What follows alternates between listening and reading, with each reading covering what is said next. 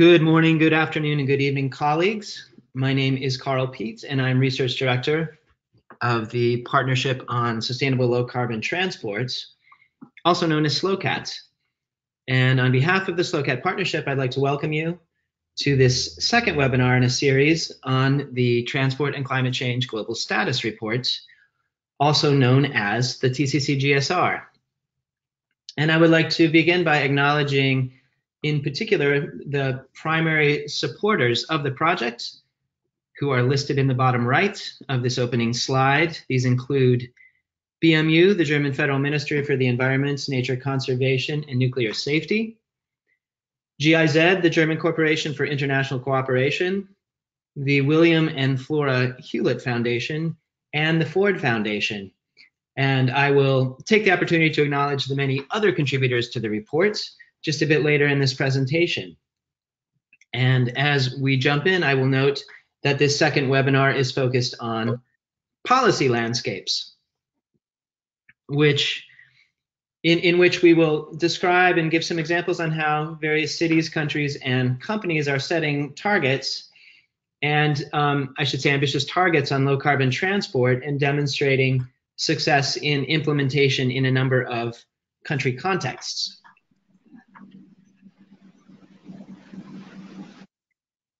And the next slide, please. As mentioned, this is the second in a series on the TCC GSR. The first of these webinars was held exactly one month ago on the 30th of April.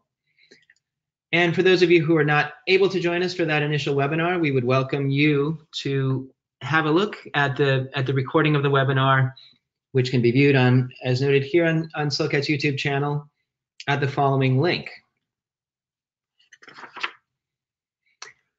And as we move into today's webinar, uh, just, just a brief overview to, to set the stage and set the agenda. Following these uh, initial remarks that I will offer to, to put the re report in some broader context, we will then welcome Megumi Endo, Program Officer of the UNFCCC, the UN Framework Convention on Climate Change, and Megumi will offer some background on transport's contributions, uh, potential contributions to the Paris agreements and the, the various mechanisms for, for incorporating those. We will then turn to Bronwen Thornton. She's Chief Executive Officer of Walk21. And Bronwen will describe the important contribution of walking and cycling in taking a balanced approach to climate change mitigation within the transport sector. Then we will look to Sheila Watson, Deputy Director of the FIA Foundation, who will give us some background on the important role of fuel economy in, in reducing emissions in the transport sector using cost-effective um, existing technologies. And next, we will look to Hannah Murdock, project manager and analyst from REN21, and she will describe the again the important contribution of renewable energy in helping us reach a truly net zero emissions transport sector. We will follow the panel with, uh, of course, questions from the other participants on this call. So we look forward to your questions and we would invite you at any point during this presentation or during this webinar to submit your questions through the chat function on GoToMeeting. And um, please feel free to indicate to whom you would like your question directed.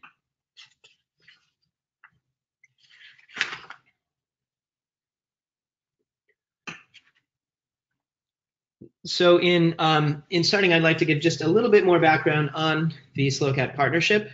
Uh, again, for those of you who may not be familiar, SLOCAT is a multi-stakeholder partnership of more than 90 organizations who are united in efforts to raise the profile of sustainable transport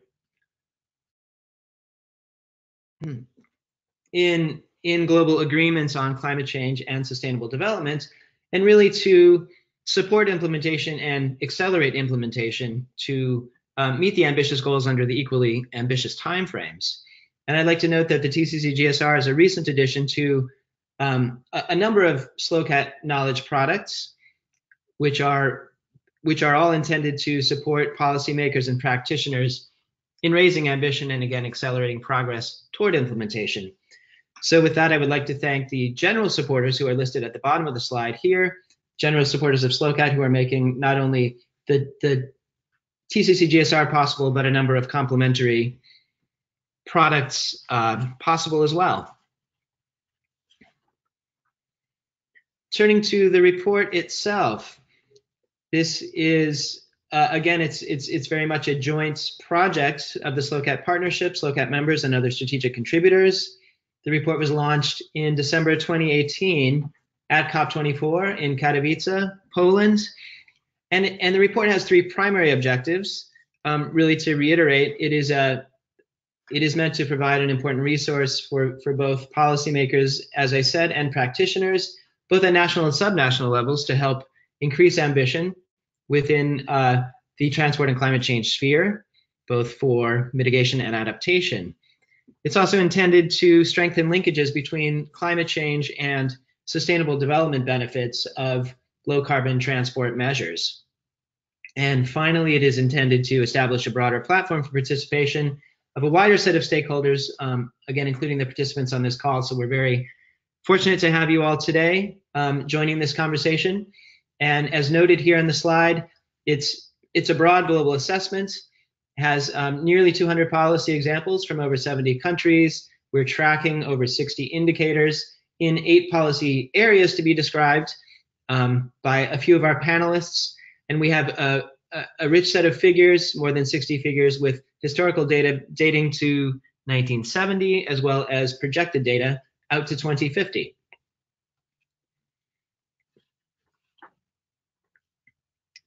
And um, a, very important slide in the deck, as noted, is to, um, to, to describe and acknowledge a bit more the contributors, the many contributors to the TCC GSR. As noted, very much uh, a, a very broad effort.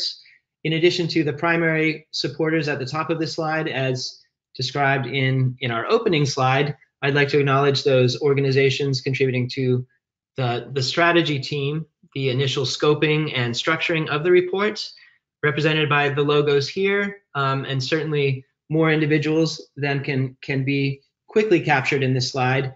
And at the bottom of the slide, um, really, really foremost are those contributors to the, the content of the report itself, more than 20 authors and, and 40 other contributors to the report's sections and content and over 50 peer reviewers from 30 plus organizations who have helped to add to the details and, and keep this report um, to a very high level. So we'd like to express our appreciation to these contributors um, for all aspects of the report. I'd like to give a very brief overview of the structure of the GSR just to put today's webinar into context. As you can see here, in the column to the left, the report is divided into four different parts. The first two of these parts were touched upon in last uh, month's webinar, which include a global overview, looking at uh, trends at regional levels for passenger and freight transport, for international aviation and shipping under part one, and in part two, in which we've described broadly trends in transport demand, transport emissions, and potential mitigation pathways. And in today's webinar, we'll focus on part three, as highlighted here, transport and climate change policy measures. This is broken further into two sections. The first describing frameworks for tracking low carbon transport measures, which will be addressed in part by our first panelist. And to the right of the slide, we are focused, uh, the report focuses on eight specific policy areas within uh, the transport and low, uh, excuse me, transport and climate change sphere. And we will welcome uh, our remaining panelists to, to touch on three of those um, specific policy areas, which I will describe further in the following slide. And so to put um, our report in a broader framework, as many of you are familiar, we are we are organizing it in part through the the avoid, shift, and improve framework, which is a, a holistic and comprehensive approach to capturing various sustainable transport measures, which describe uh, three different approaches. First, the, the, the need to avoid and reduce the the need for motorized travel to reduce the number and length of these trips, the need to shift to more environmentally friendly modes and, and lower carbon modes in making those trips, both for passengers and goods. And finally, to improve the energy efficiency and environmental performance of transport modes where they can be easily shifted. And so, as noted here, the th- three highlighted policy areas at the bottom of this slide will be uh, among the eight covered in the report. These will be featured within this presentation by the forthcoming panelists. So, with that, I would like to turn to the first of our four panelists today. Once again, this is Megumi Endo. She is Program Officer of the United Nations Framework Convention on Climate Change. And Megumi again will describe some of the UN frameworks for for tracking and structuring movement toward um, meeting these Paris Agreement goals. So Megumi, please um, take it away. Thank you very much, Karl. Um, hello, everyone. Um, so today I mentioned very briefly the um, what the, the, structure of the Paris Agreement uh, or architecture of the agreement, uh, where and then where you can contribute to the the Paris goals. Um, the first next slide, please. Um, we would like to, I would like to first touch upon um, why the Paris Agreement was possible. And unlike Kyoto Protocol, the Paris Agreement is a bottom-up approach.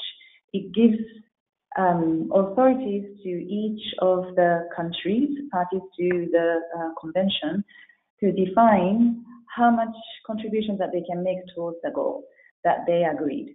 Um, so we we feel that um, multilateralism is something that we need to, that needs to be reinforced since climate change is a global issue and no single country could do um, to tackle. But the multilateralism of UNFCCC or United Nations um, intergovernmental process was the forum where all countries got to come together and acknowledge their differences, but also the common goal to to fight against this global challenge. So it was um, the very fundamental uh, principle of the agreement, which has now, I move on to this particular slide, um, has six key elements. And they are um, temperature goal, pre-2020 action and support, transparency and global stocktake, finance, technology and capacity building, mitigation and voluntary cooperation, adaptation and loss and damage. So basically, the Paris Agreement sets temperature goal of two, limiting the, the global rise, uh, temperature rise to two degrees and as close to 1.5 degrees. Um, and then for that to, to mitigate, we have cooperation, international cooperation, but also um, adaptation and resilience um, action is increasingly important because there is already climate change that's happening, even if we have all the mitigation efforts put in place, um, we need to also adapt and uh, make the infrastructure resilient. And for that, we have also what's called means of implementation, which are finance, technology, and capacity building. Um, and what's underpinning in the uh, Paris Agreement is what is called nationally determined contribution, which is, well, as I mentioned, um, the the bottom-up approach uh, efforts of individual countries that determines their own climate, national climate plans. And the idea is to, to ratchet up the ambition over time um, through the global stocktake cycle, what we call ambition cycle. And in order to um, examine collective efforts, whether the collective efforts of all the countries are in compliance, compliance with the temperature goal and an adaptation goal, um, we needed to have concrete um, requirements on the transparency of efforts. So that's the um, icon on transparency and global stocktake. And since when we, dra- when we were drafting the Paris Agreement, um, when the, the, parties were drafting the Paris Agreement, um, we were thinking perhaps that would come into place in a couple of years later, in 2020 or so. Then, in order not to stop the momentum of climate action, um, we also set out the um, framework of pre-2020 action and support. And that's also something that what we call Marrakesh Partnership um, is working on with the efforts and, and, contribution of all of you in transport sector. Um, next slide, please. So the, quickly on this global stocktake cycle or ambition cycle, as we say, um, we had so all the countries um, who ratified the Paris Agreement have already nationally determined contribution or the national climate plan submitted, and that um, that was since that was uh, made in an early stage. We they, they were also invited and encouraged to update and revise those national climate plans by 2020, and that's next year. And we are um, this this year is a very important year for all of us to kind of enhance ambition and enhance dialogue with policymakers. And you in the transport sector um, uh, in a very good position to offer your expertise and knowledge um, to policymakers so that they can you can build confidence of governments to enhance their ambition. So the, if you look at these uh, red years of NDC 2020, 2025, so next year 2020 is one uh, milestone point where um, governments are updating or revising, and that collective effort will be examined in what's called global stocktake in 2023. And this stocktake cycle begins um, in 2023 for every five years. And then you can see this cycle of, and then again, revision and update by 2025, which will be collectively examined in 2028, and on, on and on, so and so. So this was the um, Paris Agreement um, global, global stocktake architecture that is embedded in the agreement, and we are hoping that through this cycle, um, your contributions um, to the national um, policymakers would be reflected in their ambitious um, NDCs, and collectively, um, NDCs would be able to meet the, the Paris goals of um, temperature and adaptation. Next slide, please. And here we would like to quickly run through what happened post Paris Agreement period. And so 2015, we had Paris Agreement adoption. Um, and with uh, lots of global um, support and um, also with from non-party stakeholders contribution, we had this Paris agreement already entering into force the following year. And since Paris agreement was more um, an, called visionary uh, agreement and it did not have concrete rule book or operationalization details yet, parties continued to discuss the um, work program of Paris Agreement in 2016, 2017, and 2018, the, the following three years. And in the meantime, we had IPCC report 1.5 report um, that I'm sure you have all heard, um, urging the, the uh, climate action in at a higher speed, and um, also what's called Talanoa dialogue. This was um, it, this is basically the year-long dialogue process where parties and non-party stakeholders gathered together, sharing knowledge and experiences to overcome um, climate action challenges or barriers um, for higher ambition. And this created um, very significant space of dialogue between non-party stakeholders and parties, which hadn't existed systematically. Some countries had voluntary uh, initiatives of um, town hall meetings or informal meetings with experts, but um, this Talanoa dialogue was a very methodical approach where our presidency encouraged all parties to hold, and they also conducted at sessions or UNFCCC conferences, and there were many positive feedback from countries saying, we never thought this would work, but actually all the problems we had by sharing these stories and um, issues with non-party stakeholders, there are many people who came who came forward um, offering solutions. So this created a, a positive atmosphere of solving the issues in a more integrated approach, um, not just Ministry of Environment, but different um, ministries in the government, not just at federal level, but subnational and cities, as Karl mentioned earlier, um, and not just transport sector, but different cross-cutting issues of with water, oceans, um, and with energy sector and cities coalitions. It really created a partnership horizontally and vertically. And so that was a very um, important step. And you can also capitalize on this uh, efforts um, going, going forward so that this conversation and dialogue of um, national policymakers and non-party stakeholders will be a norm going forward. Um, and then in COP24 at the end of uh, last year, we had Katowice um, climate package, which is basically the rule book of the Paris Agreement. A few issues were unsolved, which would continue discussion um, this year, but that's the um, development of the last three years so far. Next slide, slide please.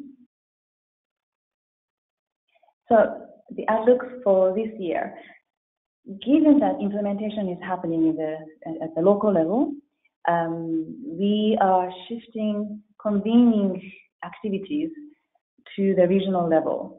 Um, so what we call regional climate weeks, we have three annually, uh, one in Africa, one in Latin America and the Caribbean, and in the um, Asia Pacific. This year we had already one in Africa, and two remaining ones are, as you see, dates and the country. Um, this is where Marrakesh Partnership partner uh, stakeholders um, are very much uh, playing a key role um, in terms of curating the conversations with the policymakers. Secretariat facilitates um, this space for transport sector colleagues. Um, and then the beauty of these regional climate weeks is that we do not have negotiation meetings going on in parallel. So parties or policymakers are more focused on the discussion at hand and uh, listen to non-party stakeholders more you know, undivided attention.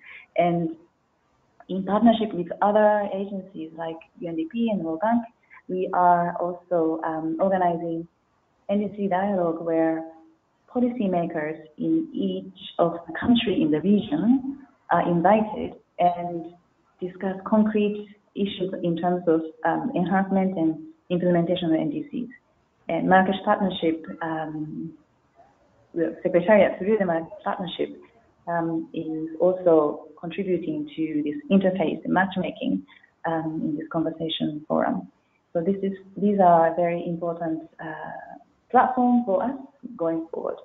And this year in particular, the UN Secretary General um, is organizing a summit on 23rd of September, and transport sector is one of the nine uh, tracks um, called Infrastructure, Cities and Local Action Track. Um, this is something also very ambitious. It is not going to be a regular summit where heads of state will come and go and make statements, but um, summit team is trying to set um, very high criteria for concrete climate actions that are that is transformative and inducing systemic changes. Um, so I'm, sure many of you are quite fully um, involved in this and are aware of this uh, event. And that the purpose of this summit is to infuse political impetus and, and momentum to raise ambition in time for 2020. So we are hoping that this momentum would come, continue on through COP25 and in 2020 in the form of more ambitious updates and revision of um, NDCs. And at COP25, I understand um, that there was a very good conversation between transport sector colleagues and the Chilean uh, presidency, and there's an idea to bring transport ministers to the um, um, to the COP, which is normally the um, conference of ministries of environment. So this is, I think, um, a very uh, new innovative breakthrough um, in the time where we need integrated approach for implementation, where ministries of energy, transport, um, health, land, working together with the environment ministries. So this is a very positive um, development that the Secretariat is very much supportive of. Um, and then we have Marrakesh Partnership Action Event. in on transport, in addition to a few roundtables. Um, but these uh, events in general are just the milestones, and there are a lot of work going on in between these events or milestones. Um, and we are we are in Marrakesh Partnership um, promoting very much this integrated approach with subnational governments, cities, different sectors, um, including the transport sector, and particularly in transport sector, um, Chilean champion, the Chilean uh, presidency um, uh, has that intense focus on resilience adaptation as one of the um, priorities of the COP. So in, for transport sector, we are also hoping that resilience and adaptation aspect uh, of the work would also have more visibility um, and traction. Thank you very much. So this is a quick run through of the process. Thank you very much, Megumi, for um, giving us a, a, very broad overview of um, of these processes, and I think it's it's uh, again reiterating some of your earlier and your final points. Really, um, certainly very important to to look at all of our climate action efforts in a in a cross-cutting lens through a cross-cutting lens, taking an integrated approach. Very helpful to um, see these efforts to link national and subnational actors and to, as you said, to build confidence in governments um, to help increase their ambition. So, um, thank you very much for that. Just want to note that for, um, with the the TCC GSR, we are making a similar effort to to um, to bring together sectors and to incorporate actors at many levels. So um, very nice to be working in in tandem with UNFCCC.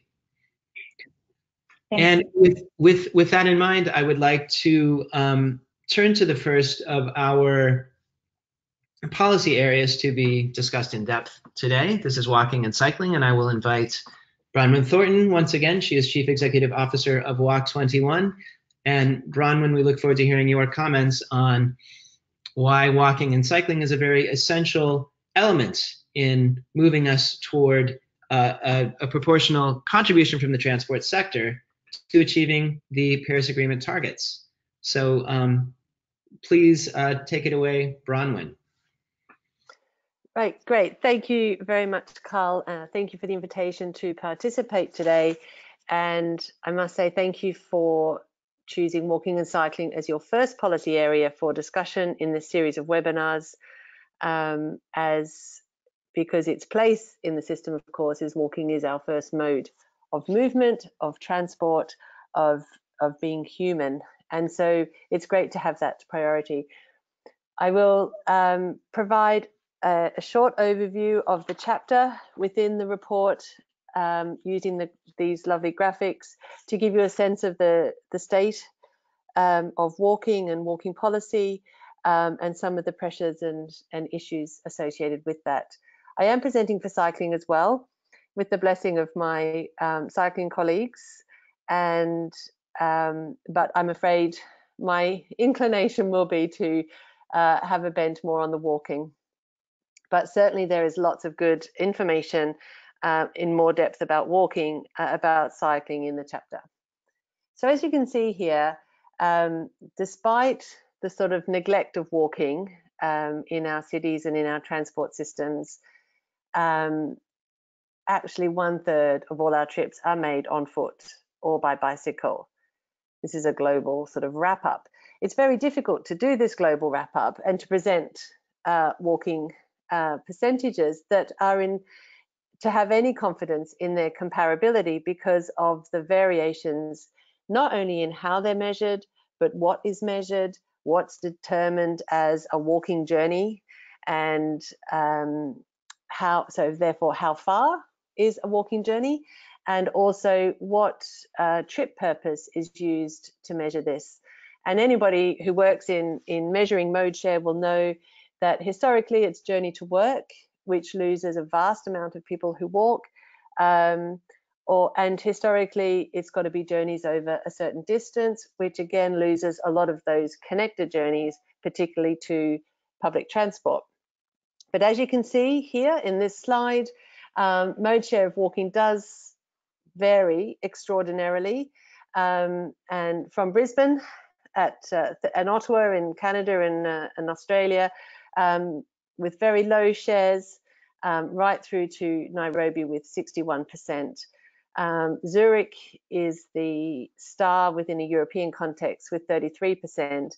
And that's not um, by accident, that is by design. And that's what's very interesting in, the, in, in thinking um, about this. But what is very clear uh, that generally speaking, walking is higher in cities with public transport networks, for example, Hong Kong, um, and low income cities. Next slide, please. So looking at the transport activity, as you can see in low income countries, the mean daily minutes of walking or cycling for transport is about 60 minutes. And the percentage of the population doing this work, uh, doing these activities is about 83% in these low income countries. I want to make two quick observations about the fact that we have to talk about walking and cycling together here, and we clarify this in the chapter, that generally, um, particularly in African countries, when you get any of these statistics where walking and cycling is measured, nearly every time, 95% of this activity will be walking, not cycling, whereas in other countries, perhaps more in some of the Asian countries, there'll be more cycling than walking. So we have to be very careful with these sorts of conglomerations. But what's interesting here is this is within a transport activity sector. And when you look at it from a World Health perspective, um, this is the sort of levels of walking or active travel that we want on daily basis for our populations. So it's always problematic when we talk about walking because going back to Karl's model about avoid, shift and improve, we put walking rightly into the shift mode, as in we want people to be using this, this mode for their travel. But actually that's a very global north concept because essentially in the global south, we want to retain people to walk. We don't want to shift them into walking. We want to keep them walking, but they're not going to stay walking because the environments in which they're asked to walk um, are very, very poor. Next slide, please. And in fact, this, the um, research from Asia shows that given a chance, people will shift to other modes as soon as they can afford it. And uh, this is a study done um, in Asian cities, um, but I imagine that it applies across African and Latin American um, communities as well. That basically, if you don't make it nicer to walk, um, then we're going to go and do something else. And this would have, as we know and as we um, understand from a climate as well as a city management perspective, a catastrophic uh, it's a big word, but it's true, a catastrophic impact on how we manage our cities. And we will lose the health benefits that um, this mode, modal share, and we will gain all of the disbenefits um, of, in, of uh, alter of the motorized modes if we had this level of shift. Now I know Sheila is going to talk about improving these other modes and that's an essential part of it, but in the balance of modal share and space management, we still need to retain our pedestrian movement to underpin our public transport services and to ensure the quality of life um, in our cities. Next slide, please because as you can see by this lovely slide um, with some some material, and this is where Switzerland, this is Swiss francs, is the measure in um, these diagrams. And what they discovered in Switzerland is that they actually realize more benefits than it costs them to um, have people walking. For every kilometer walked, they're saving 10 cents um, in in uh, in their investment. So this is a win-win environment. You are winning in terms of underpinning of public transport, reductions in air and noise pollution, reductions in congestion, um, improvements in public health, equity and inclusion. Walking is so and cycling are so broad ranging and across all of these dimensions of city management and city impact. But when we come to try and put walking into the transport mix and into this climate sector mix, it gets a bit tricky because walking is a zero carbon mode. And so how we value walking in the system, it can't be valued for decarbonisation, which is what a lot of other measures of success are based on. And so we have to be talking about um, how we value walking correctly and how we uh, measure it um, accurately. Uh, next slide, please. This slide um, is a great example. It just illustrates perfectly um, what that what we are trading off between our different modes here. The capacity for moving people in the space available um, versus the carbon impact. And as you can see, private motorized travel loses big time in these sorts of graphs, but we are still seeing this as being where cities are investing um, in their transport sectors, as well as some of these other modes. So we are looking a lot at how do we build in the value of walking into some of these other projects so that we can improve these outcomes. Uh, next slide, please. And this is where you come to what are the inputs we need for the system to generate improved outputs. And in this indicators table, um, I use a lot of language around input indicators and output indicators. In this context, we talk about what are the inputs or the policy landscape indicators and what are the market development um, indicators. Now we debated a lot whether to include this table in the in the report because as you can see there's no information, but that's why it's included. That's why it's important because albeit two or three countries have national walking plans um, and some have national cycling plans, um, they're not they're uh, not consistent and they're not comparable um, globally in terms of saying this is how we measure this indicator. And that becomes even more so in the set of data below the blue line which is until we can get some consistent comparable methodologies to ensure that the data we're putting in here is um, valid reliable and properly represents these modes within our transport systems, um, we haven't yet been able to include them. Next slide, please, because this is a slide of good news. It's a lovely, um, it's important to know that things are changing though, that there's a lot of work going on. There's a lot of commitment from cities around cycling and walking, recognition of the benefits, the value to uh, the transport sector in noise and air pollution and congestion reduction, and you see some lovely examples of policies and sometimes in cities where people don't expect that they would need to do something. Paris for example you would very rarely get someone think that paris wasn't a nice city to walk in but they are making comprehensive investment um, in being a better walkable city all motivated by the uh, climate agenda as well as public space agendas. And in the UK they're investing it says here 1.4 billion in walking and cycling um, with the aim to double the share of cycling by 2025.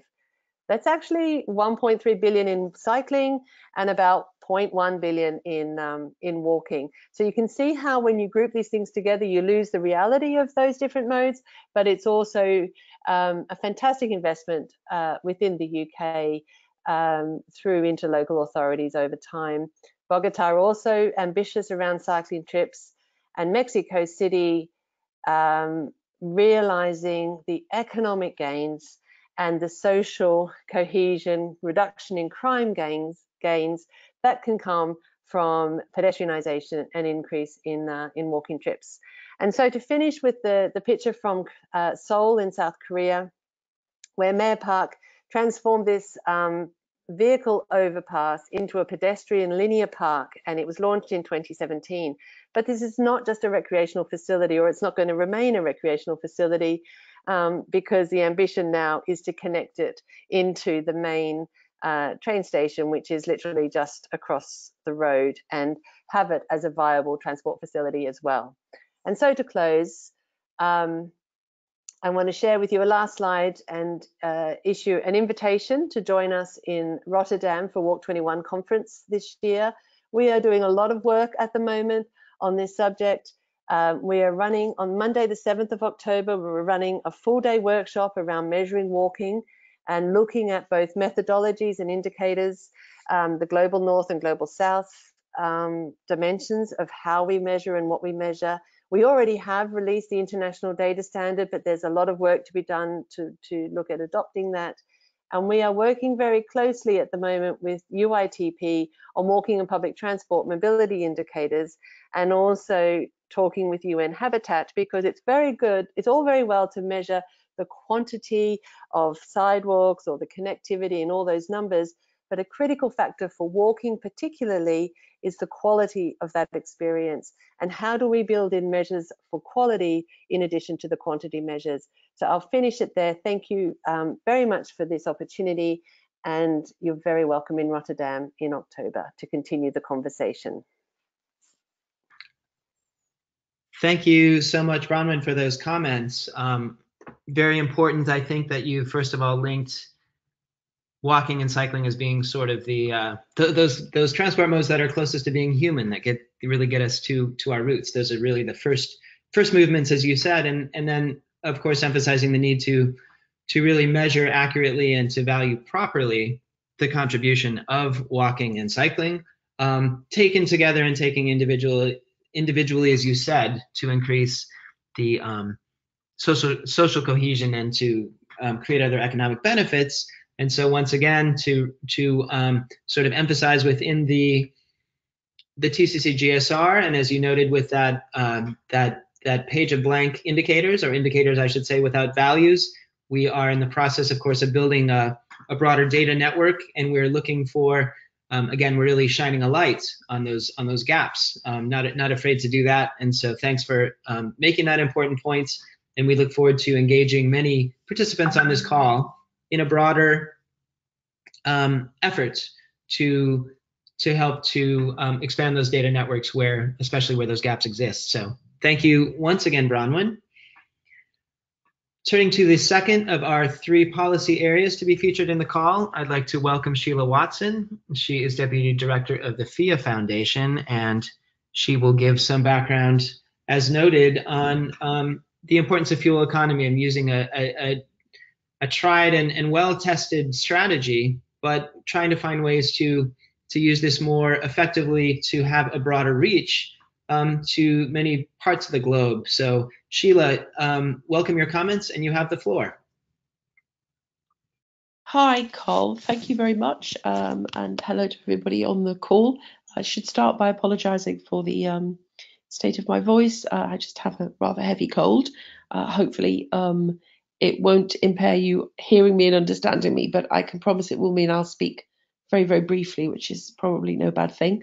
Um, excuse me. Um, the work that I want to talk to you about today is, as um, uh, Karl has just described, a project which has hitherto uh, focused entirely on fuel economy improvements in light duty vehicles. So that's cars and vans, and, and the project is called the Global Fuel Economy Initiative and is a partnership of a range of extremely uh, significant organizations from UN Environment through to the International Transport Forum and International Council on Clean Transportation, International Energy Agency, and UC Davis, and hosted by ourselves at the FIA Foundation, which is a UK based uh, charity uh, philanthropy, which has uh, itself a focus on safe and st- sustainable mobility.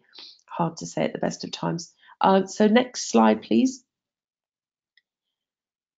So uh, I think in the context of what we're discussing here today, what what policy um, scope there is and what developments there have been in the area of fuel economy, there are an awful lot of examples on which one can draw uh, of countries addressing these issues in relation to their vehicle fleets. Uh, and, and doing it for a variety of reasons, actually. Um, one of the things that we have uh, encountered in the up to 70 countries now, around about 70 countries that we've worked in on these issues, offering capacity building support uh, and working with local uh, organizations, um, is that um, that there is, you know, huge potential and a huge range of different things um, which countries are able to do, and that there is a an interest in doing it because there are CO2 gains, yes, but they're very not often not the main thing.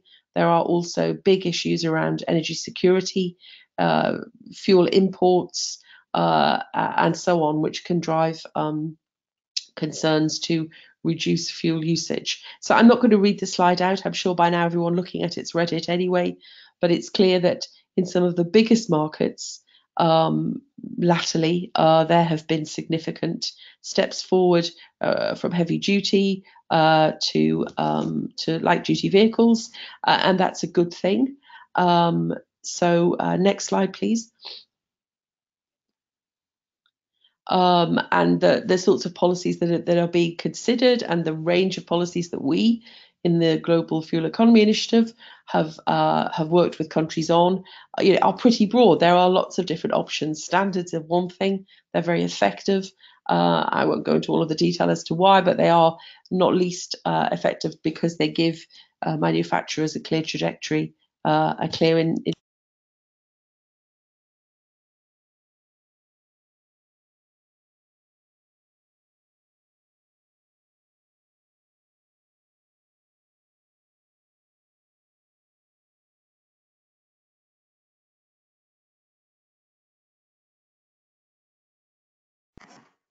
Oh, hello, Sheila.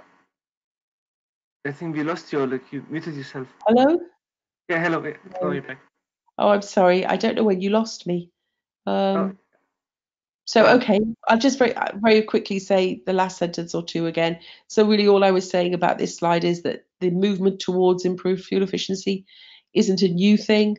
It's something that has gone on over a period of many years. There have been uh, a whole range of different policy um, options brought uh, brought in by different countries. Uh, as I think you may have caught, uh, fuel uh, economy standards are one way of doing things, and we think they're very effective. But labeling, consumer information, and so on is also very useful. What's worth noting here is way back in the 70s, the US led the way on these things, but it's incredibly important also to know that whilst those standards were coming in, CO2 savings were not following because they the, the improvements in vehicle efficiency were almost entirely converted into improved, as it was seen then, improved vehicle power. Uh, and so ultimately, at the end of the day, the reason that we're focused on improving fuel efficiency is, is to do with CO2, cleaner air, and those things. But actually, although this sweep of policies covers a long time period, the objectives of the policy have changed really across that time period. Next slide. Uh, and of course, the main, excuse me, the main issue is really whether or not all of those efforts and all of that um, policy is really moving us forward. Uh, and, and it isn't. Uh, there are several reasons for that. Um, although most of the main markets are covered by some sort of policy, they're not equally um, uh, intensive. They're not equally, you know, they don't all cast forward as far, uh, and uh, they're not equally effective. But also, very importantly, um, they uh, are not necessarily um, affecting the the shape um, of the fleet. Um, and so, next slide, please. Next slide, please. Thank you. Uh, and the the real problem we face is that whilst uh, there is um, a desire, perhaps in some countries, to reap some benefits from reduced fuel use, consumers are buying bigger and bigger cars uh, and really basically moving into the SUV class in a in a really substantial way. Uh, this um, gives you uh, a sense of um, the size and scope of the scale, sorry, of, of vehicle sales in different markets around the world. Uh, and in some, and the obvious examples are China uh, and India, the fleet is growing really very, very quickly indeed. Indonesia is another good example.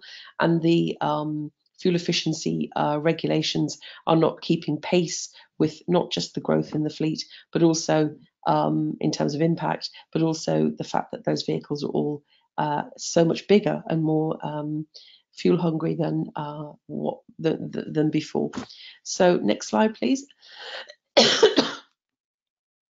and I think you know it's also important to reflect uh, on other factors which are impacting um, the uh, the the pace of change on fuel efficiency, uh, the, the, the the death of diesel, the impact of uh, uh, the Volkswagen scandal on uh, diesel means that diesel sales are falling, and they have been, in some respects, at the forefront of improving fuel efficiency.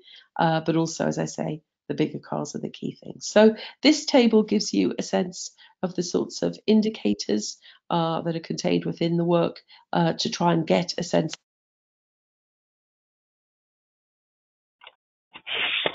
Sheila, we've lost you again for a moment. Sorry, I, I fear that it's to do with my Wi-Fi not being very good. Uh, I apologize. You're, you're good again. Thank you. And please continue. Thank you. Uh, so this table gives you an indication of some of the um, uh, indicators that are contained within the work uh, that um, attempt to get at the uh, the, the, progress uh, globally on fuel economy, drawing from the experience of our working countries and elsewhere. Um, and um, whilst there is a great deal of work going on in terms of benchmarking where countries are at in terms of fuel efficiency. That's something which we're able to find resources uh, to do in country. Progress on actual policy and standards is slow. Uh, most legislative process, progress is slow. Um, and so um, this is a very much a long haul game. Um, and um, and one uh, alongside much energy efficiency work, which is poorly funded and poorly supported, even though the gains are potentially huge. One area which uh, I think this table sort of reflects, but more generally is the case uh, of increasing interest is the heavy duty uh, sector, which is growing and very soon uh, will be uh, a far more fuel intensive sector than the light duty one. So um, next slide, please. So one of the things that the Global Fuel Economy Initiative um, has concluded, looking at the sort of evidence that I've just shared with you and, and much more besides, all of which you can find on our website, uh, which draws on our experience over 10 years now of this work, is that we really do need to sort of go wider and deeper uh, in terms of looking, uh, working with countries on their fleets. At a very practical level, that's how countries see things. They, uh, they see the whole challenge across electrification and across all different subsectors uh, and different fuel types as being something they're wanting increasingly to grapple with collectively. And I think we all believe that's a good thing to do. So just last week, we relaunched our initiative with a much broader um, uh, remit, a much broader uh, set of targets. We've now set fuel efficiency targets. In fact, we have uh, recommitted to uh, fuel efficiency targets, which we already had for uh, heavy duty and light duty, a 35% reduction by 2035 in fuel use in heavy duty, and a halving of average fuel use by 2030 in light duty vehicles. But we've also uh, taken the step of including a whole series of carbon uh, reduction targets, um, which um, take into account um, where we we believe the fleet is going, where we believe policy, global policy, is going to get us, uh, and they're all predicated, of course, on a deep decarbonisation of the grid. Um, I again won't go through all of those in in great detail um, because there's a, a, huge amount that lies behind them, but um, you can see them there. You can see that they are extremely ambitious for 2050 um, in terms of um, improving uh, all sex subsectors actually of the fleet, and they involve uh, a great deal of electrification. But of course, um, the ultimate the, car, the, grid is the key thing, which will uh, determine whether or not those CO2 savings are made. This is what we believe is possible. Um, however, um, it's extremely important to say that this is not enough. Uh, and whilst um, uh, most of those scenarios will get you some great clean air results. They'll only get you the CO2 if the energy is cleaner, and they will not do enough to get to the Paris um, below two degree um, scenario. We have to avoid and shift, and uh, it's a very important conclusion of this work. Uh, for too long, we've relied on hoping that technology and within the fleet can get us where we need to be.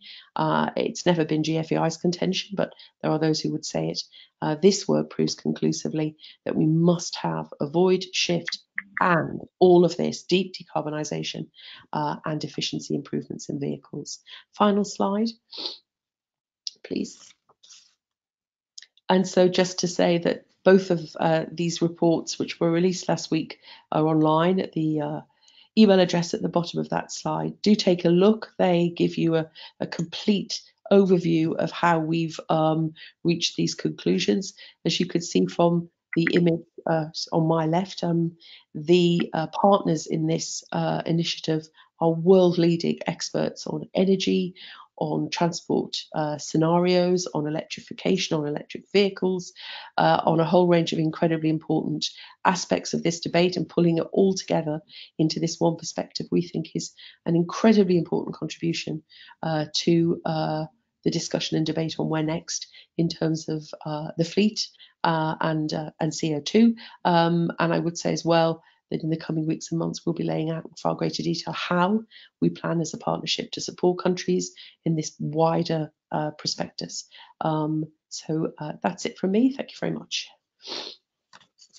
Sheila, thank you very much for your comments and um, in, for, for, raising a couple of challenges. Um, certainly spelling out that legislative process is, uh, is slow, but that uh, it can also, also sort of be at odds with consumer choices. So um, I think it, it, it brings sort of new meaning and urgency to the um, the this sort of bottom up and and and top down struggle in in moving fuel efficiency forward. And very exciting to hear about the the relaunch of the of the GFEI program and um, bringing it to a broader set of vehicle types. This is very exciting. And and finally, I would just say, uh, I think it's very informative to have you bring together these many uh, these many pieces um, bringing together the need for um, fuel economy, electrification, and um, and also avoiding shift and improve avoiding shifting and improving in order to meet those those those Paris Agreement targets. So thank you for um, for for merging those those various aspects um, and various approaches. And and I think it's a very fitting segue to our our final panelist in linking uh, in making that important link between efficiency and and renewables in the transport sector. Um, so once again, I'd like to introduce Hannah Murdock. She is project manager and analyst of the REN21 Secretariat. Welcome you, Hannah, to to give comments on, um, as, as, I mentioned earlier, the the very critical role of renewables in in getting us toward a zero emissions transport sector. And I would invite you to, to take some, um, I, I, realize we're running up against our, our, our um, scheduled time, but Hannah would love for you to take a bit of extra time and hoping that most of the participants can continue. And then we'll, we'll also have a very short question and answer session following your comments, Hannah. So Hannah, the floor is yours. Thank you, Kyle, and thanks to SLoCaT for the invitation. Um, as mentioned, I'm Hannah Murdock. I'm coordinating the Renewable Global Status Report at REN21, which is the Renewable Energy Policy Network of the 21st century.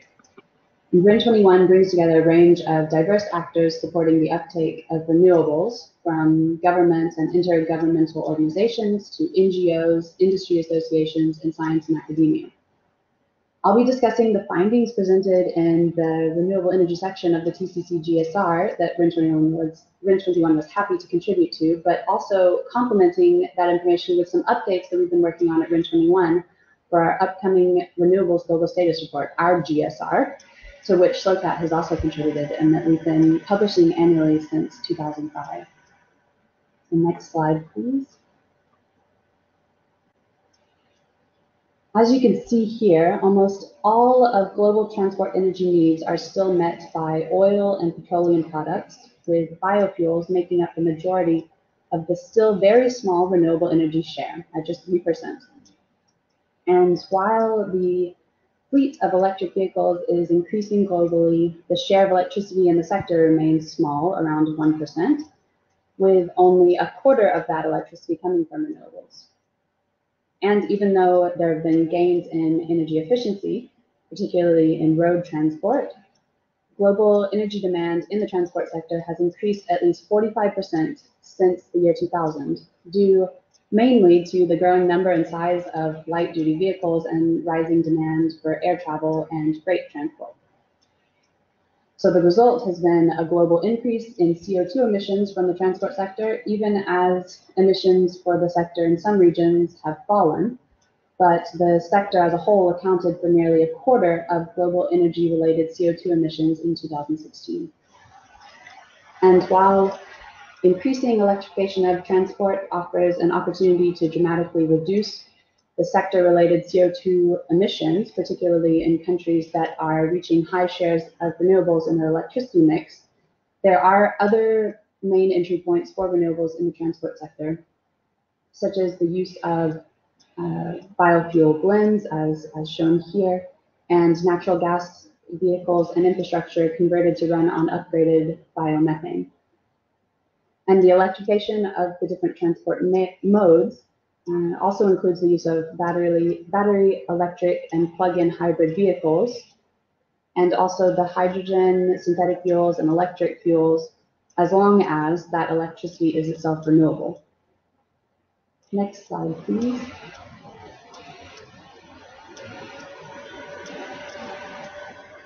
As you can see here, biofuels have seen very strong growth since 2004, although they were starting from a small base. And more recently, demand for biofuels increased around 18% between 2013 and 2017 and has seen moderate growth since 2017. Biofuels continue to be a key element of renewable energy in transport in key subsectors. For example, aviation, shipping, and long distance trucking are expected to remain reliant on liquid fuels in the short to medium term, but there remains a need to scale up the production of advanced biofuels in particular, and the need to phase in complementary technologies plus energy efficiency to reduce the need for biofuel production. Increased fuel economy standards, as just mentioned by Sheila, are a demonstrated approach as it's easier to save a unit of energy than produce. However, as we've seen, fuel economy standards for light duty vehicles are only present in about 20% of countries and even fewer countries have them for heavy duty vehicles. Next slide.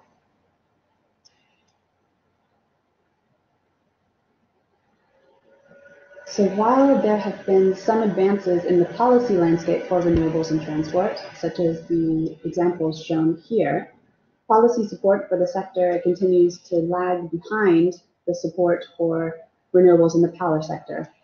And this is despite the higher contribution to total final energy consumption of the transport sector. And if you look at the next slide, you can see that Next slide, please. Thank you. Uh, you can see that uh, that biofuels and biofuel blend mandates remain um, remain crucial, and as biofuels are the largest contributor to the renewable share in the sector, they are still a central component of national renewable transport policy frameworks. By the end of 2018, biofuel blend mandates existed at the national and or subnational level in at least 70 countries, but this is only about a third of countries globally. No additional countries have adopted biofuel blend mandates in the past year, but some countries that had mandates in place added new ones and several existing mandates were strengthened. However, few new measures promoting advanced biofuels or other fuel sources were adopted in 2018. The EU provisionally agreed on an advanced biofuels and biogas mandate of 1% by 2025 and 3.5% by 2030. And uh, other national governments supporting advanced biofuels include Croatia, Denmark, Italy, and the United States, which announced in 2018 that there would be an increase in its biofuels, uh, advanced biofuels mandates starting in 2019. Next slide, please.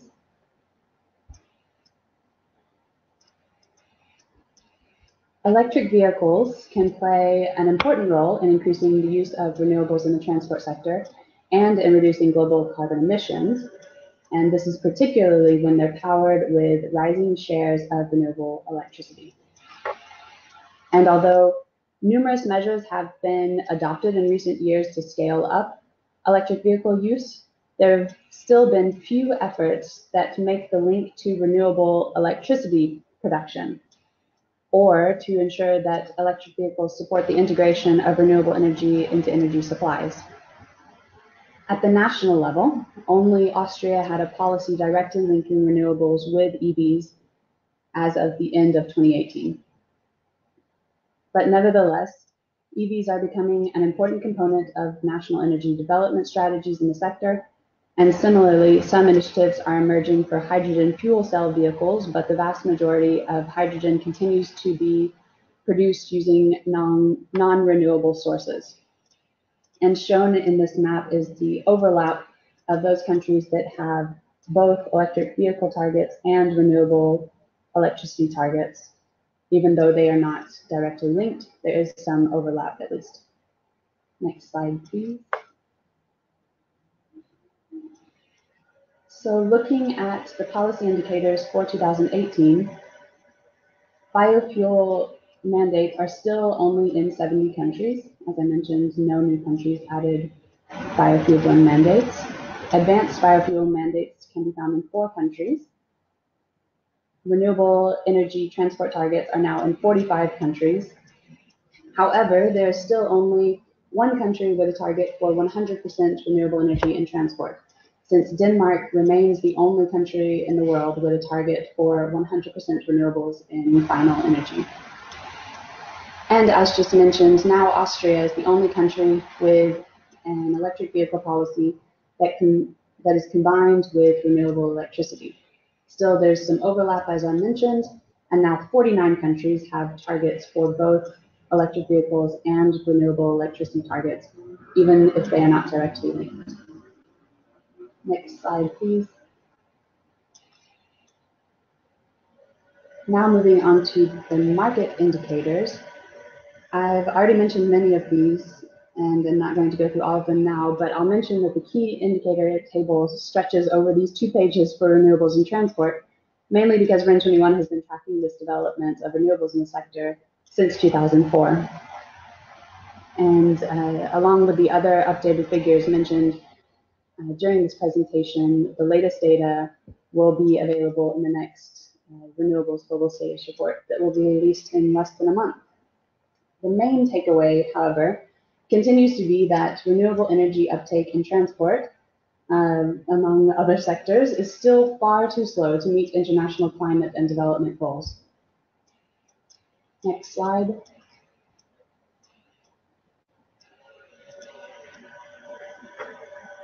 You can find details of uh, renewables in the transport sector in the upcoming Renewables Global Status Report that will be launched on 18th of June but also in all of REN21's reports, transport is highlighted in every single chapter from policies, markets, and industry to efficiency and electric vehicles. And in addition to the flagship GSR, uh, REN21 is launching the first renewables in cities report that will have a lot more information on transport and the Asia and Pacific report that's due out later this year. These reports also represent an opportunity to get involved, either as a data contributor for a specific country, region, or topic to help better inform the, the data in the transport sector where you're located, uh, or also participating as an expert peer reviewer. We're continuously trying to build up the reporting on transport, so I encourage you to visit the pages for each of these reports to read more and find out how to participate. Each of these is hyperlinked here. And finally, Mark your calendars for the next International Renewable Energy Conference to be held in October in Seoul, South Korea. As with all REN21 events, there will be several sessions focusing on the transport sector. So with that, thanks to everyone for your attention and back to you, Karl. Hannah, thank you so very much for your comments and thanks in particular for making the time today, seeing that you've got a very tight deadline just a few weeks out in um, launching REN21's next uh, global status report. But um, I, I, I, should should note that uh, REN21 has been a very important special advisor throughout the process of creating the TCC GSR. Um, we've certainly emulated uh, to a great extent the experience that uh, REN 21 has shown. So thank you for that guidance as well as your contribution today. And um, yes, in uh, within your comments, what really stood out to me is this idea that um, there's a there's a lot of potential. There's some critical mass. There's some nice numbers that we see, but as you note that the um, that forward progress is is is halting in some respects, uh, especially in the transport sector as regards to renewables, and that we're not yet on track to meet the goals. And um, helpful to see though the very cross-cutting research that you're doing, um, especially bringing renewables to cities.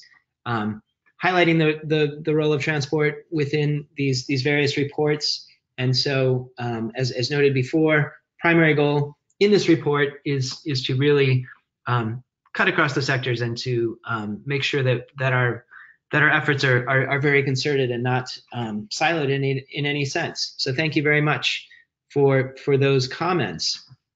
Um, what I would love to do is to ask um, as as we've again gone just a bit over time, I'd like to keep this this fairly brief, but I'd like to ask a general question to each of our panelists, and also to note that um, Br- Bronwen is um, has has stepped away um, to to another um, commitment, and so what I would like to do is is ask a general question to the the three panelists who are on the line, and kind of connecting some of these presentations, sort of seeing how do we um, how do we help to bridge the gap between our, our current ambition, our current action and implementation toward those those very important targets? And so I would put perhaps to Megumi, but to all the, the panelists, um, sort of what what is the what is the how can the UNFCCC do do more or both from a top down and a very bottom up standpoint. So I'd like the perspectives of each of the panelists.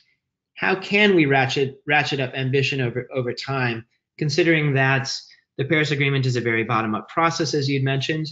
You know, what are the the points of leverage that we have both from um, from within national governments, also in a broader sense from the UNFCCC and and from the the global community, but also in terms of um, city city action and, and individual choice. Kind of how can we again give those governments confidence to ratchet up ambition, um, and connected to that, when we look to the fuel economy um, Global Fuel Economy Initiative.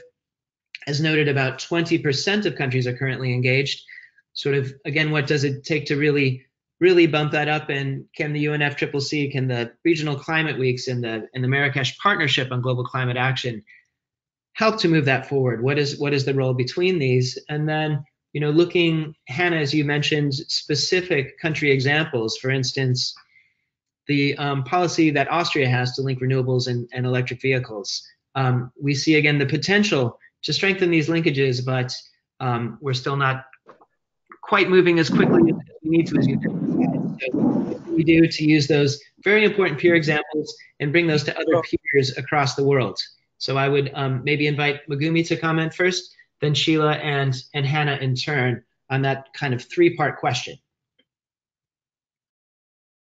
Thank you, Karl. Um, yes, I would like to highlight some of the, the, strengths that you already have. You have a very vast um, network partnership of different um, experts uh, in your sector, and through um, expansion of such collaboration, horizontal collaboration, um, you are able to tap into other uh, wealth of resources in terms of knowledge of um, country needs assessment.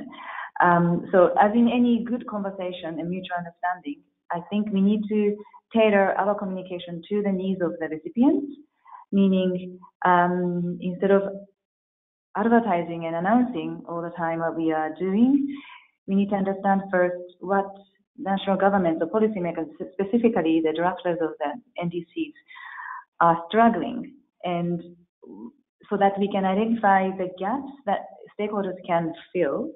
Um, and and you don't need to kind of reinvent the whole wheel. Um, you already have the um, solutions. We just need to somehow tailor to, to particular um, national circumstances or regional context. And in UNFCCC sessions, we tend to look at um, the common um, lowest common denominator of problems or barriers or opportunities also in positive um, aspects. But that means it's not necessarily applicable to a particular country, a particular city. Um, so in this sense, um, I think it is good to first have a news assessment, and there are many uh, intelligence and uh, research work done um, studying the NDC submitted currently or um, through the research, individual interviews and uh, research per country, and perhaps with your collective wisdom, um, we can target and tailor your support to the um, respective countries or regions. And regional climate weeks will be a very good um, forum um, because policymakers are not just from the country, uh, Ministry of Environment, but different ministries, including transport. And by proposing such um, tailored, in-depth discussions, we can attract more uh, key policymakers or key drafters um, in, in, this uh, area. So that's one. And another thing is also to show the the future, the roadmap of what countries need to do, or by 2020, by 2030, by 2050, where we want to be. We show the the vision, and it was uh, also presented um, by some of our speakers today. And we could perhaps um, detail what concrete actions by concrete um, actors should be taken by the time-bound um, approach. And so this kind of, uh, we already have in Marrakesh Partnership, we have what's called Action Tracker, but we it's basically meant to show the way forward um, so that policymakers who are um, in the position to contribute to the NDCs could look at, okay, that this is where we want to be, and these are the actions we have to take, and these are the initiatives that are being at the table offered. Um, already low-hanging fruits are there, and so we can maybe have this kind of um, two-way uh, approach. Um, but first, I think what's important is the understanding of the concrete needs and assessment um, of individual countries and NDCs. And Marrakesh Partnership tries to um, create such partnership across seven different uh, thematic areas, including transport. Um, so the horizontal partnership and uh, collaboration can be already achieved there. And we are also bringing in parties and policymakers uh, at the table uh, in various occasions. Thank you so much, Megumi. Really helpful to get a sense of, uh, for, well, for in particular the action tracker, as you as you note within the the Marrakesh Partnership on Global Climate Action, and um, yeah, certainly I think very importantly the, the need to tailor communications to the needs of the participants. I think it's an important uh, lesson that we need to kind of continue to to reinforce in in in our broader efforts to make sure that we're we're really helping to translate information into commitments and action. And I think um, with that, Sheila, do you see a role for, um, in particular, maybe perhaps can you say a bit more about the role of of the Marrakesh Partnership in helping to advance the the efforts of fuel efficiency, um, and, and also the regional climate weeks, perhaps to move, as you mentioned, some of the larger markets are very much engaged, China, India, et cetera, in, um, in fuel economy efforts, but how to move to some of the, I would say, um, regional regional peers or regional um, you know countries in those various regions based on the on the regional climate weeks. And let me add sort of one additional question here um, as as you know it's been noted by some participants that the the the second um, version or the relaunch of the GFEI, the Global Fuel Economy Initiative, focuses on um, it's, it's, it's noted that it, it, targets CO2 reductions, but not specifically energy efficiency reductions. So perhaps you can you can discuss um, that also in the context of the um, of of the the UNFCCC and the and the and the Marrakesh Partnership. Yes. Okay, Karl. Thank you very much. So that's there's so much that could be said um, in response to that question. I, I, think just keeping it as simple as I can and reflecting very much out of 10 years of experience, which is really quite, you know, it's kind of almost unheard of. There are only very few programs in the transport sector which have been funded by a philanthropy uh, for, for, by anyone for 10 years uh, to do uh, some work. And so I'm reflecting on what I've learned there. And I think the first thing I would say is that it doesn't matter which process you engage with there is a sort of obsessive interest in those processes in always you know focusing on something glittery. Uh, and it's terribly important that you know the person who speaks is incredibly high level or is almost certainly got to be from the private sector. And and there is an approach sometimes i think which is which is really quite abstracted from the reality of countries genuinely struggling to understand how to address issues because the people who are struggling are very ordinary people just like you and i policy people uh, working in departments with all of the disconnects and all of the uh, lack of information that we all know, you know, on a day-to-day basis we experience in our own work. Uh, and so these very high-level um, kind of um, glittery events can sometimes really just be very abstracted from the reality of the day to day. So I would always encourage UNFCCC to, you know, not forget the, the slightly less sexy elements and energy efficiency is forgotten every single time, even though I think every speaker here said pretty much it's just the best energy saving CO2 that you can do. And in transport, it's huge. So I think I'd say that first. And I think maybe therefore the regional meetings would be great places for um, initiatives that really are working with countries and offering capacity building uh, support and sharing good practice and bringing countries together and officials together to, to talk and really work through the, the right down in the weeds, you know, the detail as stuff that they have to put in front of ministers, not the grand words. Um, if you could do more bringing those sorts of people together and supporting initiatives that do that, I think that's absolutely crucial. Um, and that's how we will change the world in those sorts of steps. Uh, so that will be my first reflection. Um, secondly, in terms just to answer your point of, of GFEI, what we've done is we have broadened out from light duty vehicles. We now are acknowledging the massive contribution heavy duty is making, uh, two and three wheelers in particular in relation to air quality in many cities, and then of course um, looking uh, at buses too because they are a growing um, a growing part of the fleet and they're very much challenged by issues around electrification.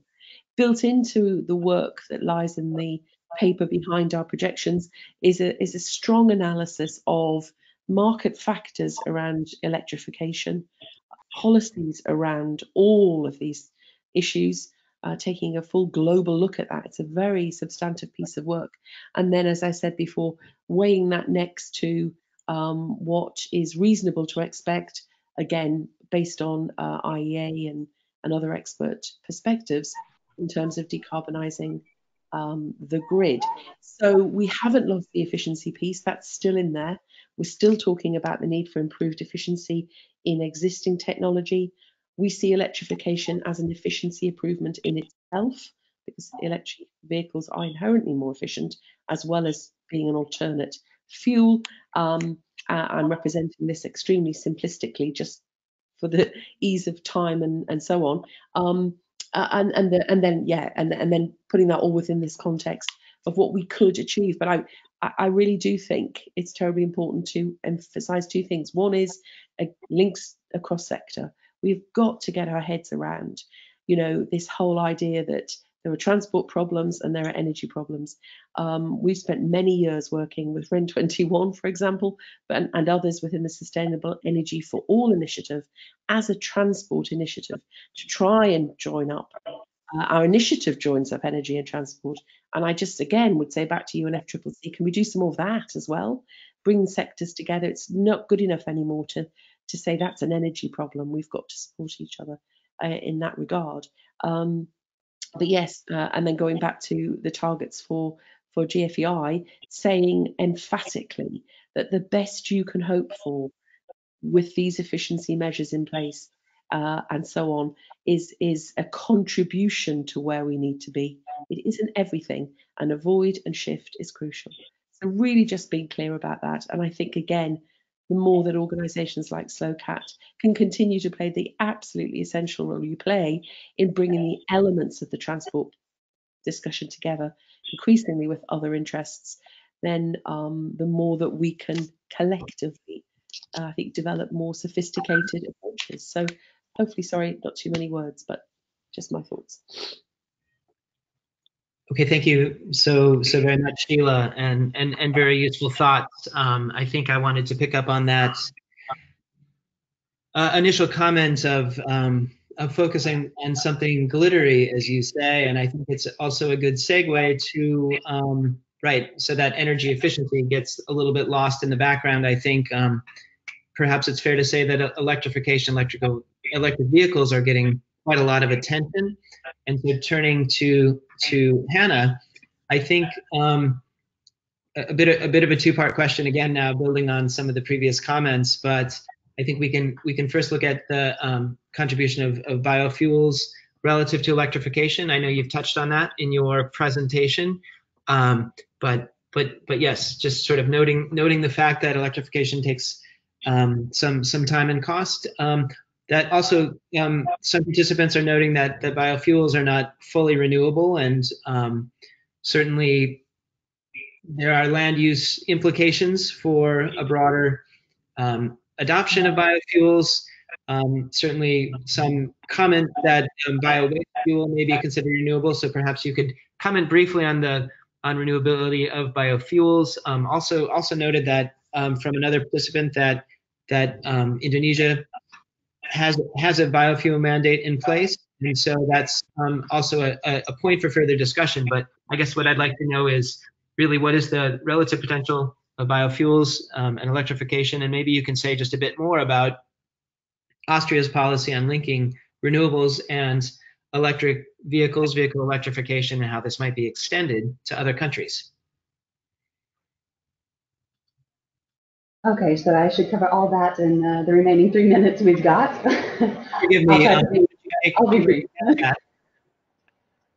Uh, well, basically, I guess uh, to start with the, the biofuels point, um, they, as, as you saw in the, the first slide, they make up 3% of the, of the share of uh, fuels in the entire transport sector, which is quite small and has not been growing very much over the past years. So um, there's still a lot of potential for uh, biofuels to, to help decarbonize the sector.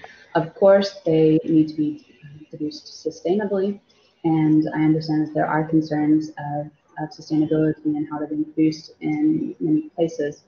Uh, but this is also part of why these governments that have started to implement advanced biofuel blending mandates is already a positive sign.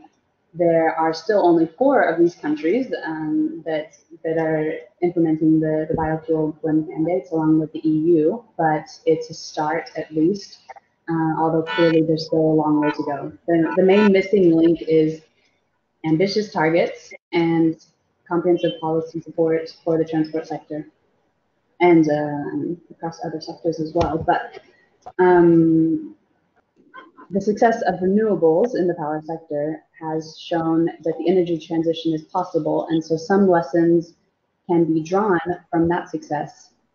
But policymakers should also look to successful examples in other jurisdictions and how they can be tailored to their local situations. You mentioned Austria, which uh, their policy offers a purchase price premium for electric vehicles charged with 100% renewable electricity.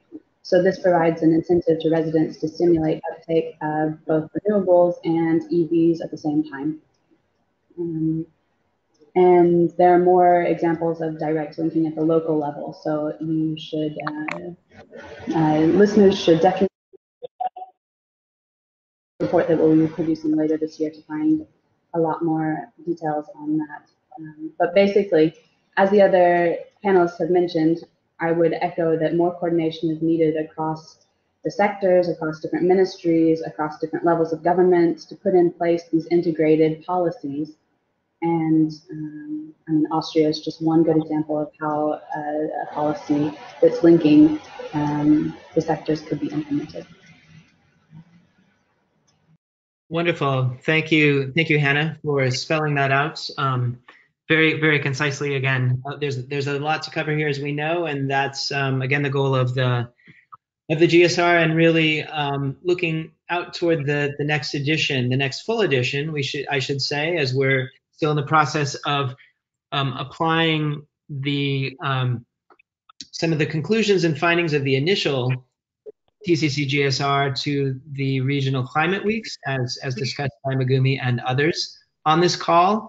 Um, so we are we are full on in that effort for this for this year. We're also in the process of building up a network of national focal points to help provide more data, more information, more policy examples, and um, not only national, I should say, but also subnational focal points as we aim for our next full edition at the end of next year in late 2020. So once again, we welcome participation from from those on this call and beyond this call to to help us increase the the data that we have to to help us track those indicators and to get more more measurable and more comparable data um, across these various policy areas. So we really welcome your participation. Appreciate you contacting the team um, with this information to contribute. And with that, I would like to thank you all for your uh, your attention, your participation in this call. Um, we and also thank you for for taking some some extra time as we had a very rich um, set of um, of or a, very rich group, I should say, of panelists and a lot of information to cover today. So thank you for um, spending some extra time with us. We will certainly keep you posted with forthcoming webinars and other opportunities for engagement. And um, yes, we we we uh, appreciate your time once again, your attention. Um, you can follow us here um, with with the various through the various information streams mentioned on this final slide. And um, so, thanks very much again for your attention, for your participation, for your interest, and we look forward to reconnecting with each of you soon. Thank you. Thank you.